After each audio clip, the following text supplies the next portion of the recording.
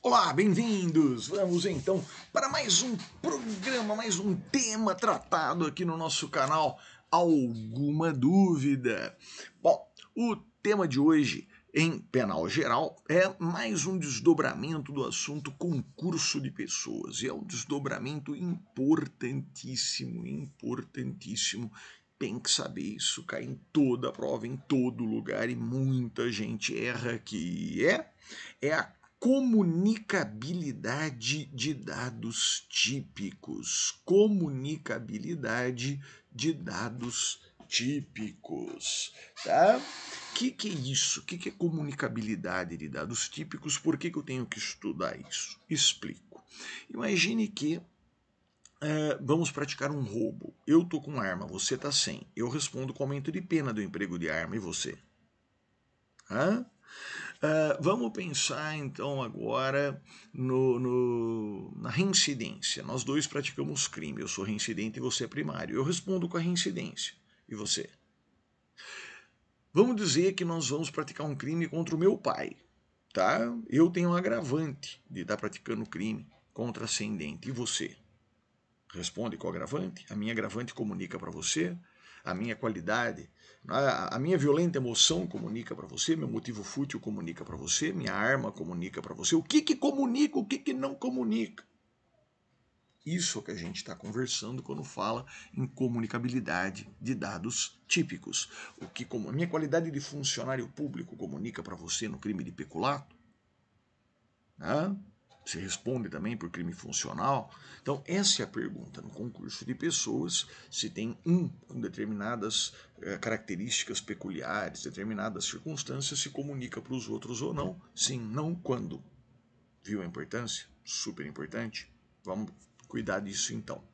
Bom, o artigo que fala disso é o maledito do artigo 30 do Código Penal, que é um dos artigos mais mal escritos da história da legislação mundial. Por quê? Porque olha bem para ele.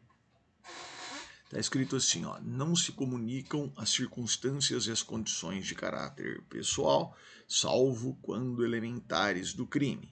Tá. Aí eu, eu te pergunto, né? Uh, quando ele diz isso, né? não se comunicam, ele está usando a dupla negativa. Olha, corta não e salvo fica muito mais clara a frase. Fica assim, ó, comunicam-se as circunstâncias e as condições de caráter pessoal quando elementares do crime. Então ele usa negativa, não era para usar negativa. Você não deve fazer uma frase com não e salvo. Tá? Corta o não e corta o salvo. Aí ele também não vai bem, esse artigo, porque ele fala não se comunicam as circunstâncias de caráter pessoal, salvo quando elementares. Gente, mas não tem como uma circunstância ser elementar. Ou é elementar ou é circunstância. Elementar é o que é essencial, está no caput. Circunstância é o que circunstare, é o que está circundando as elementares. Influencia na pena, é acidental, não é essencial. Não tem como a circunstância ser elementar. Então está escrito: comunicam-se as circunstâncias de caráter pessoal quando elementares. Elas nunca serão elementares. O que, que é isso? Ah, não, não, sabe o que é? É que quando o legislador usou a expressão circunstâncias, ele não quis usar, aqui no artigo 30, no sentido técnico, ele usou no sentido vulgar. Tá de brincadeira, né? Isso é um código. Claro que tem que ser um diploma técnico. Bom, não vamos mais brigar com a letra da lei. Vamos traduzir o artigo 30. Vamos lá? Vamos lá. É assim, ó. A tradução do artigo 30 fica: as elementares se comunicam.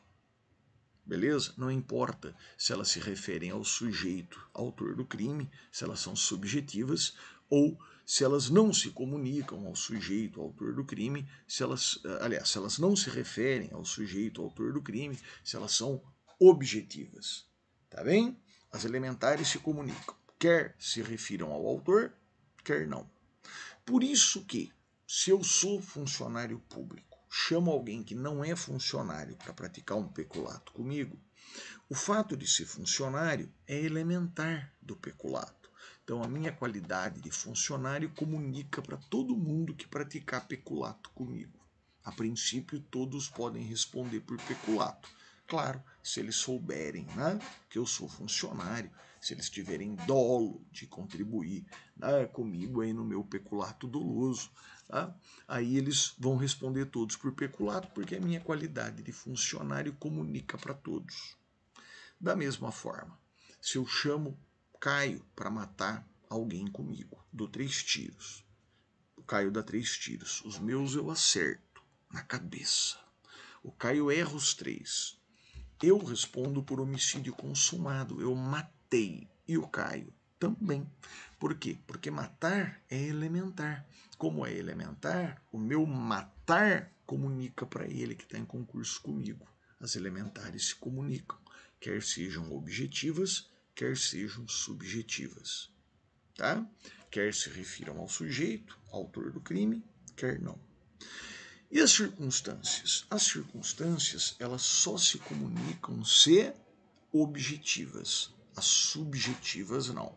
Então, o que for circunstância subjetiva, o que for circunstância que não se refere ao sujeito, autor do crime, o que for circunstância, lembra que circunstância é aquilo que não está no caput, é aquilo que rodeia o caput, né? rodeia as elementares, interfere na pena. Ai, Gustavo, quais são as circunstâncias, hein? Estou aqui tentando lembrar. Então, ó, circunstâncias são as qualificadoras, os, as, majorantes, as minorantes, as agravantes, as atenuantes, as circunstâncias judiciais. Quer que eu repito? Eu repito. As circunstâncias são as qualificadoras, as majorantes, as minorantes, as agravantes, as atenuantes, as circunstâncias judiciais. Todas essas são circunstâncias, tá? Tá. Bom, é... então essas circunstâncias elas só se comunicam se objetivas, se subjetivas elas não se comunicam. Gustavo, mas eu queria assim um pouco mais de precisão sobre quando e como distinguir o que é objetivo e o que é subjetivo para ver se comunica ou não comunica. Pois não. Olha aí, ó. São objetivas as que se referem a dados externos ao sujeito, a magnitude do injusto. Bonito isso, mas super teórico, né? Como meios, modos, instrumentos, local. Essa é uma boa dica. Lembra, meios, modos, instrumento e local, tá? São subjetivas as que se referem ao sujeito, ao autor, à medida da culpabilidade, como a reincidência, relação de parentesco, motivos, finalidades e influência de emoção.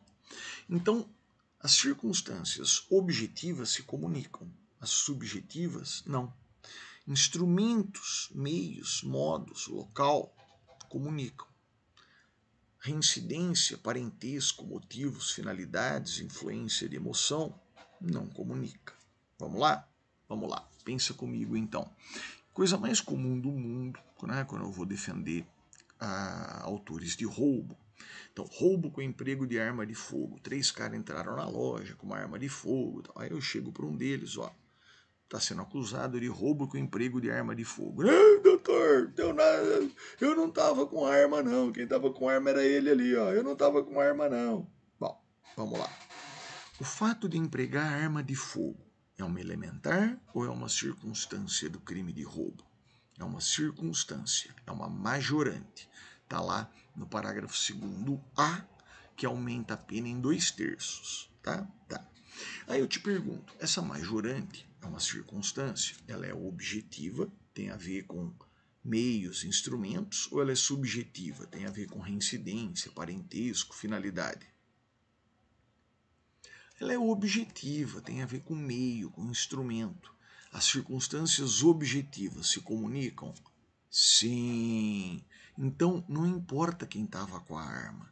Se o roubo foi praticado com emprego de arma e todos sabiam, tinham dolo sobre isso, todos vão responder por roubo com emprego de arma. Não interessa quem estava com ela na mão. Tá? Tá. Agora, imagine que eu chamo alguém para agredir o meu pai. Tá? Então vamos lá agredir o meu pai. Vamos lá, praticamos lesão corporal no meu pai. Tá. O fato de ser meu pai, a relação de parentesco, ela é uma circunstância objetiva ou subjetiva? Subjetiva. E as circunstâncias de caráter subjetivo não se comunicam, tá? Tá. Então eu respondo com a agravante. O terceiro não. Beleza? Joia?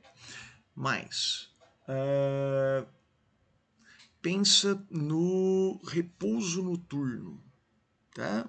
Repouso noturno. Então, vamos praticar um furto em repouso noturno. Eu dou a chave para a pessoa, falo para ela, vai lá à noite e tal, e furta a casa. A pessoa vai lá, abre a porta com uma chave falsa, dá o furto à casa. Uh, quem furtou a casa à noite foi o Mévio. Eu só emprestei a chave. O fato do furto ser praticado em repouso noturno é uma, circunc... é uma majorante, aumenta a pena em um terço, artigo 155, parágrafo 1 Tá. Ele praticou em repouso noturno, vai responder com a majorante. E eu? Bom, é uma circunstância? É uma majorante. É objetiva ou subjetiva?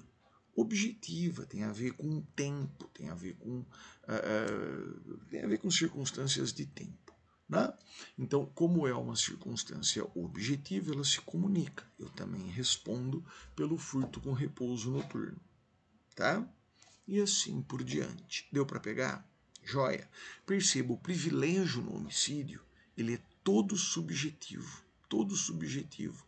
Domínio de violenta emoção, relevante valor moral, passional. Então, ele não se comunica o privilégio de um no homicídio não comunica para o outro. Você tem que examinar a situação anímica, emocional de cada um. Tá?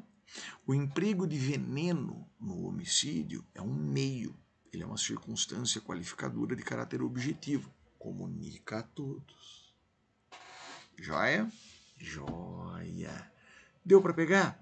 Então lembra, as elementares se comunicam, quer sejam objetivas, quer sejam subjetivas, e as circunstâncias se comunicam se objetivas, as subjetivas não. Beleza? Beleza. Claro que só pode o sujeito responder, né? Se ele tinha dolo sobre as circunstâncias, se ele tinha dolo sobre elementar. Mas aí já é o tema de cooperação dolosamente distinta, que é um outro assunto que a gente vai abordar num outro momento. Tá legal? Tá legal. Gente, era isso. Espero que tenha sido aí construtiva a exposição. Fico ao dispor aqui no canal para qualquer dúvida, qualquer comentário, coloca aí no nosso no nosso aqui é, no, no, nos comentários aqui ao vídeo. Prazer para mim responder, aumentar a interação com você. Gostou? Dá o joinha, dá um clique aí no joinha, compartilha que o objetivo é mesmo esse, divulgar tá? é, o conhecimento, divulgar aqui as lições que a gente tenta relembrar. Tá legal?